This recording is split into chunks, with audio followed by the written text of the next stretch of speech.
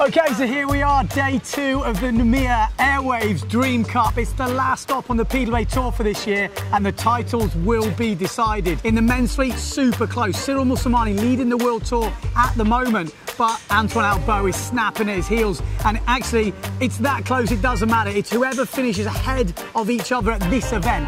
But there is a sort of wild card. If they finish outside the top five, Pierre Mortefon can have a shot of it. He'd have to win and they'd have to be about five places back. In the women's fleet, it's a bit easier, I would say. Delphine Cousin has quite a healthy lead over her other opposition, so she just needs to finish within four points. She needs to finish in the top four, basically. If she finishes in the top four, she will win the world title for a second year running.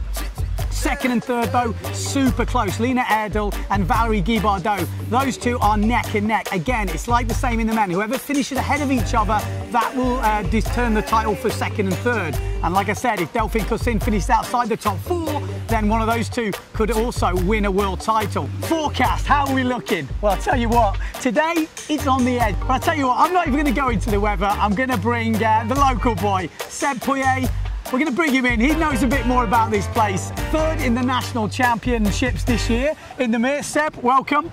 Hi. Okay. What do you think of today? Are we likely to get some wind to come in? Um, if the winds stay in that direction, I think it's uh, maybe not. Yeah, so tough. Yeah, yeah. It has to turn to the normal uh, trade winds. Which is more to the, to the left, so Okay. south east to east. When this normal trade winds come in, what sort of winds are we are we likely to see? What sort of conditions? Uh, it's uh, 15 to 25 knots, okay. and um, sometimes even more. But um, this the uh, this is the normal uh, range of. Yeah, and there's a lot of local, obviously a lot of locals entered this competition. You have a very strong slalom fleet. You do, you have a, you have a main national championships. You were third in that, Yeah. uh, and you have a tour as well throughout the year. Is that correct? That's correct. We are usually between 40 and 60 uh, racers Okay. on a race course. It depends on the format. Yeah. For the long distance, there are more people coming and join us. And for the slalom, it's uh, 40 people. Yeah. Usually. When when does your season start here? Is this is this typical of the start of the season, or are we midway through? What, when do the trade winds It's, sort of kick in? uh, usually it's uh, between uh, February and uh, November. Okay. And uh, we do maybe uh, 12, 12 uh, weekends Okay. throughout, the years Yeah. for the annual uh, challenge. Okay. So a lot of events. Yeah, yeah, a lot of events, so we can train a lot here. Okay, so with a lot of events, you've got, you know, a couple of guys that are famous for being on the tour. They're obviously, well, actually, one of them's back, Robert Teriitehau. He's Yeah. back on tour this year for this event, and he's quite a big icon here, uh, and a lot of other guys as well. Do we have any up and coming guys we got to watch out for? You know, maybe something the guys wouldn't know at home, some young talent coming through. Who, who are we going to watch out for? The, the young are pushing uh, really hard behind, and uh, in fact, they are in the front, like uh, Axel Jordan, Yeah. which is uh, really good this year. He's been uh, first uh, at the annual challenge and at the nationals too. So he won the national championships and the tour, sort of thing, Yeah, the yeah. local tour. Any other young guys pushing?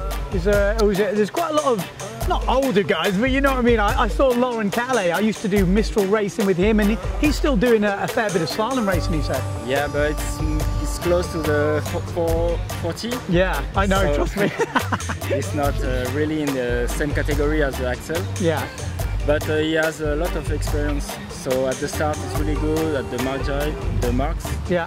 and um, there are a lot of guys who are doing re- really well here. Speed-wise, they are good. And um we can name uh, David Perper, Yeah. Fred Morin, who is uh, doing the, the He does the Pedal Obviously, a lot of people Yeah. will know Fred. for a couple of years now. Yeah. And uh, the young like Axel Jourdain, Damien Servera, etc. Yeah. So, and obviously yourself. Yeah, but I can't talk about myself. We know the, the water, Yeah. water state, etc. So it's uh, an advantage for, for us. But uh, the pro are really um, uh, quick to, to get um to know the, the, the water states. Yeah. And um, I think he summed it up. I think that's it. I mean, a lot of local talent this year. Uh, there's some older members coming up to 40. We've got the young guys at Axel, one to watch out for for sure. Fred Morin, you know, seasoned Peterlee rider in his home patch. Roberto Rizia back on tour. It's set to be an absolutely amazing last competition of the year. So Airwaves really stepping up to make this uh, Noumea Dream Cup happen. The forecast is looking good. If we don't get wind today, tomorrow for the next four days, it's going to be going off. Tune into the live stream because we're going to have proper slalom action. Cheers, Seb.